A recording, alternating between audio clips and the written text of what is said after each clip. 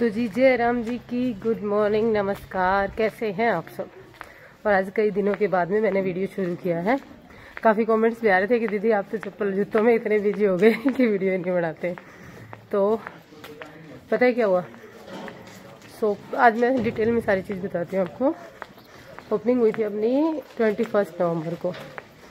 मतलब थर्सडे को। कल थर्सडे था।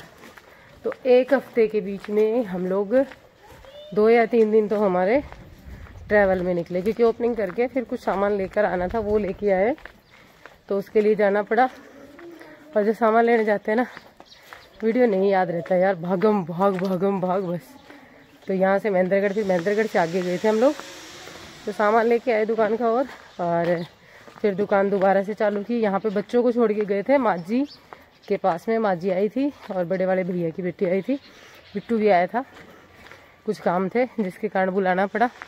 तो वो तीनों आए ना, एक मिनट को ये हाथ दर्द करने लग गया। हाँ। तो वो तीनों आए ना, तब बच्चों को घर पे छोड़ के हम दोनों गए थे सामान लेने। फिर रूटीन शुरू हुई।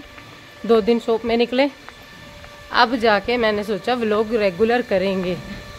जुकाम हो गई थी मेन बात ये था, तबीयत ख़राब हो गई बीच में। तो तबीयत ख़राब होने के साथ साथ मोटर चल रही है यहाँ। तबीयत ख़राब होने के साथ साथ ना वीडियोस बनाना ना इतना पॉसिबल नहीं हो पाता। तो अब मैंने सोचा कि अब मैं रेगुलर ब्लॉग करूँगी क्योंकि अब थोड़ा सा लाइफ स्टेबल हो रही है। वैसे सामान लेने फिर से जाना है। दो तीन दिन में जाएँगे। लेकिन अब की बार शर्मा जी शायद तक अकेले ले आएँगे। मुझे साथ जाने की ज़रूरत नहीं है।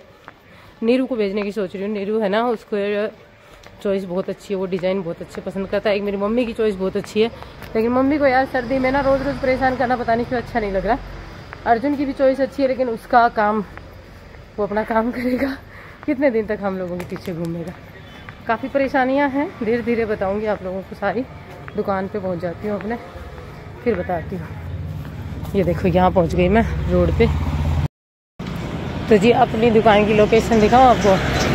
ये सामने सेल का बोर्ड अपने ही शॉप पे लगा है। अभी आपको शर्मा जी बैठे दिख जाएँगे। ये देखो। हाथ से नाखून तोड़ रहे हैं। आज इन्होंने यहीं पे लगा रखी है अपनी दुकान। एक लगाते हैं अब एक और टेबल। अभी कुछ ऐसा ही है माहौल। अब इसको टेबल को बाहर निकालेंगे। दोनों लग के ये कार्टून कबाड़ी को देने हैं, जो दिए नहीं अभी तक।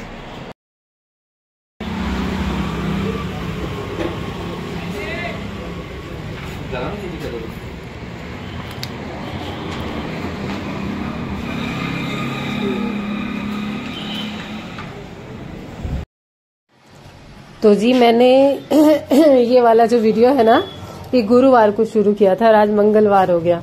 आज मैं इसको एडिट कर रही हूँ। बीच की छोटी मोटी जितनी भी क्लिप्स थी ना, वो इसमें डाल के और फिर मैंने सोचा, चलो आज ये लोग पोस्ट करते हैं। यहीं शॉप पर ही हूँ। यहाँ पे पता है क्या होता है? ट्रैफ़िक की आवाज़ आती है, इस कारण से ना वीडियो एडिट नहीं हो पाते। नहीं तो मैं कर लेती और अभी ये मेरा तीसरी बार सोप का सामान आया है।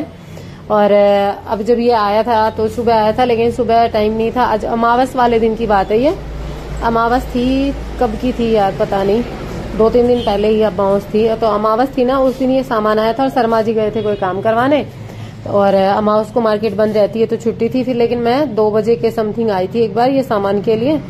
फिर उसके बाद आने के बाद में ये सामान वगैरह निकाला और हम लोग कर रहे थे इसको काउंट कर रहे थे। क्योंकि पता है जो सामान लेके आए थे, जो रसीद वगैरह थी ना, उसमें दो हज़ार रुपये का अंतर आ रहा था। तो हम लोगों को ये लग रहा था, ये दो हज़ार रुपये कहाँ गए? जितने का सामान था ना, उसमें रसीद हमारे पास मतलब पैसे हम लेके गए थे, उससे रसीद हमारे पास दो हज़ार रुपये कम की ही थी। तो ये सोच रहे थे दो हज़ार कहाँ या गिरा दिए कि क्या हुआ?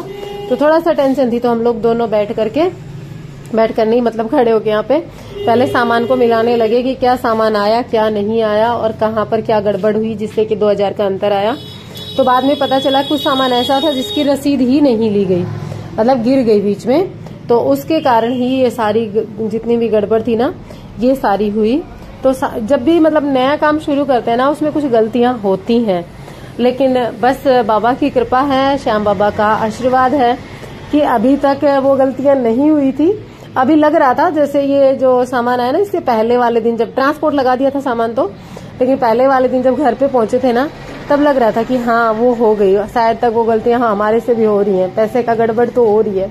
ये सारी चीज़ें सोच रहे थे। लेकिन जब सारा सब कुछ मैच किया, तब पता चला कि यार, ये सामान रसीद है ना, जिस सामान की उसके अलावा एक्स्ट्रा भी है। तो एक्स्ट्रा है इसका मतलब ये बाकी जो दो हज़ार अलग है ना, उसी का है। तो मन में खुशी हुई कि नहीं, अभी तक वो गलती नहीं हुई है। भगवान का आशीर्वाद है। और मैं आप लोगों को बताऊँ तो अब जो है ना, जब मेरा वीडियो आ रहा है जिस दिन, अब तक हमारी जो शॉप का स्टॉक है ना, वो हमने फुल कर लिया है अच्छा खासा मतलब सामान वगैरह। ये होता है ना कि भाई, दुकान वगैरह जब भी हो ना तो उसमें सामान पूरा होना बहुत ज़रूरी होता है। तो कुछ चीज़ें ऐसी थी जिनका हमें पता नहीं था। मैं मार्केट में, जैसे नॉलेज होती है ना, नॉलेज नहीं थी कि कौन सा आइटम चलता है, कौन सा नहीं चलता, किसकी डिमांड ज़्यादा है। तो वो पिछले, अब ट्वेंटी फ़र्स्ट को ये ओपनिंग हुई थी। और आज तीन तारीख हो गई, तीन दिसंबर। तो दस बारह दिन हो गए, बस उतनी नॉलेज तो हो गई कि भाई क्या चीज़ ज़्यादा चाहिए, कौन सी चीज़ नहीं चाहिए। तो अब तक ऐसा तो एक भी नहीं आया। प्रोडक्ट जो ना चलता हो भगवान की दया से, सारे प्रोडक्ट यूजफुल हैं। अभी जो कस्टमर है, उनको पसंद आ रहे हैं। और आशा करूँगी कि आगे ना मैं आप लोगों से भी भगवान ऐसे ही आशीर्वाद अपना देता रहे। और एक चीज़ और कहूँगी हाँ कि अब कोशिश करूँगी कि मैं रेगुलर व्लॉग बना पाऊँ। यहाँ ना मेरे को बहुत सारे लोग कहेंगे कि दीदी आप पागल बनाती हो, लेकिन नहीं यार, मेरी तबीयत खराब हो गई थी। ऊपर से नैनी की भी तबीयत खराब हो गई थी, नैनी भी बीमार है। और बस मैं अपनी बात पहुँचाने के लिए इस वीडियो को वॉइस ओवर करके यहीं पर सोप पर बैठे बैठे रिकॉर्ड करके पोस्ट कर दूँगी। पता है क्या होता है? मन तो मेरा बहुत होता है कि मैं आप लोगों के साथ में रोज वीडियो शेयर करूँ। लेकिन टाइम मैनेज नहीं हो पा रहा। अभी जैसे नया नया काम शुरू किया है ना तो मैनेजमेंट बहुत ज़्यादा ज़रूरी है। टाइम मैनेज नहीं हो पा रहा, बहुत हालत ख़राब हो जाती है। सुबह सुबह भागम भाग, फिर पूरा दिन मेरा शॉप पर निकलता है। ऊपर से सीज़न चल रहा है, जैसे अभी शादी वगैरह का तो वो पूरे दिन उनका वो ही रहता है। उनके सावे वगैरह शुरू हो रखे हैं, मुहूर्त वगैरह होते हैं तो वो घर पे वैसे नहीं रह पाते, मैं ऐसे नहीं रह पाती। तो बस व्लॉगिंग वगैरह फिर अब छुट्टी जाती है, कुछ बच्चे बीमार हो रखे हैं। देखते हैं, अब कल से मैंने एक मन में एक संकल्प लिया है कि मैं सुबह जल्दी उठ के अपना ब्लॉग शुरू किया करूँगी और रात को उसको एडिट करके घर से अपलोड कर दिया करूँगी, क्योंकि शॉप पर वाईफाई नहीं रहता। ठीक है? और, बस आप सभी की दुआओं में इतना असर है कि अपना नया काम बहुत अच्छा चल रहा है। और आने वाले समय में डिटेल में वीडियोज़ में आप लोगों के साथ में शेयर करूँगी सारे। जिसमें आपको पता चलेगा कि किस तरीके से क्या कुछ हम कैसे कर रहे हैं, ठीक है?